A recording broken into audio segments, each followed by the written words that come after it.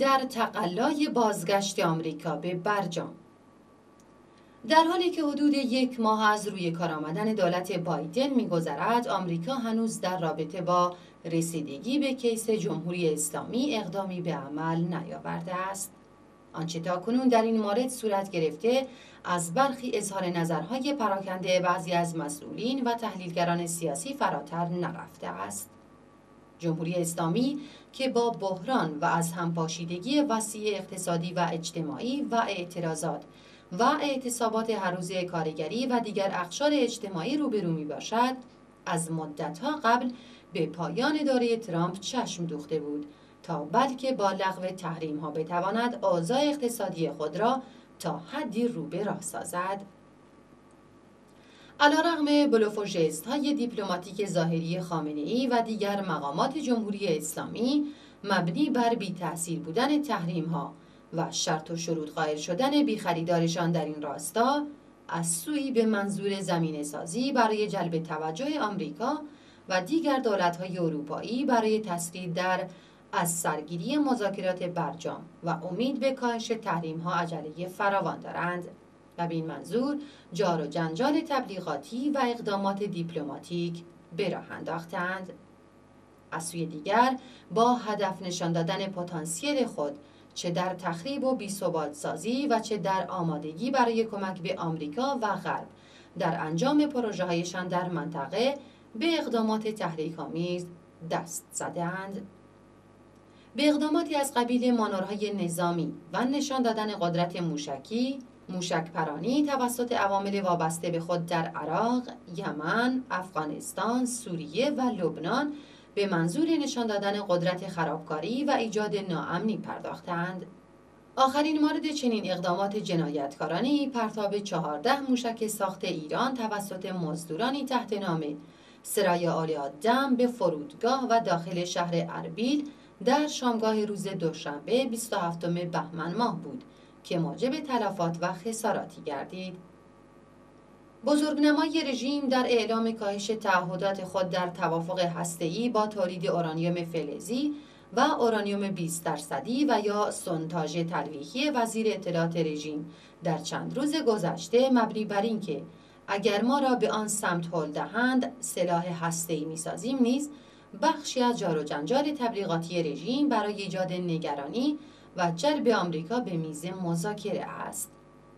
اما این اقدامات نه تنها موجب تسریع در کاهش تحریم ها نمی شود بلکه موقعیت بین المللی جمهوری اسلامی در سطح منطقی و بین المللی را بیش از پیش تضعیف کرده است. آنچنان که تاکنون نیز موجب میلیتاریزه شدن بیشتر منطقه و تقویت موقعیت دولت‌های عربی مخالف جمهوری اسلامی و اسرائیل در کشمکش های منطقی و بین المللی شده است. در راستای تهدیدات دیپلماتیک و تبلیغاتی نیز همان روز دوشنبه سعید خطیبزاده سخنگوی وزارت خارجه ایران اعلام کرد که در صورت عدم لغو تحریم ها تا هفته اول اسفند جمهوری اسلامی اجرای پروتکل الحاقی را متوقف خواهد کرد زیرا دولت جو بایدن همچنان بر رویه دولت قبلی حرکت می کند و فشار حد اکثری علیه ایران را ادامه می دهد. همزمان نماینده جمهوری اسلامی در سازمان های بین المللی در وین نیز طی نامه از توقف اقدامات جمهوری اسلامی در اجرای پروتکل الحاقی پیمان منع گسترش سلاح‌های هسته‌ای یا NPT از پنجم اسفند به بعد خبر داد و این اقدام را در راستای مصوبه مجلس اسلامی در یازدهم آذر ماه گذشته نام برد.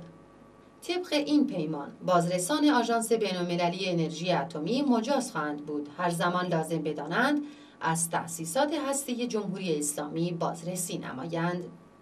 اما برخلاف انتظارات جمهوری اسلامی و هایی که در رابطه با تعجیل در انجام مذاکره فوری با آمریکا و لغو تحریم ها دولت بایدن اولویت کار خود را رسیدگی به مسئله برجام ندانسته است. در این رابطه خبرگزاری رویترز طی گزارشی اعلام نمود که جو بایدن هنوز تصمیم قطعی در قبال ایران اتخاذ نکرده است و تصمیم دارد سیاستی گام به گام را به اجرا درآورد و جمهوری اسلامی را نیز ملزم به رعایت تعهدات توافق ای نماید.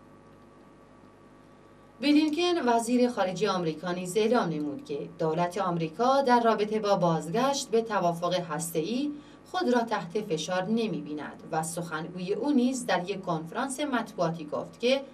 دولت آمریکا برای تنظیم رویکرد خود در قبال برنامه هسته ایران هیچ ضرب العجلی را به رسمیت نمی‌شناسد و اقدامات جمهوری اسلامی در این زمینه ها فاصله گرفتن از برجام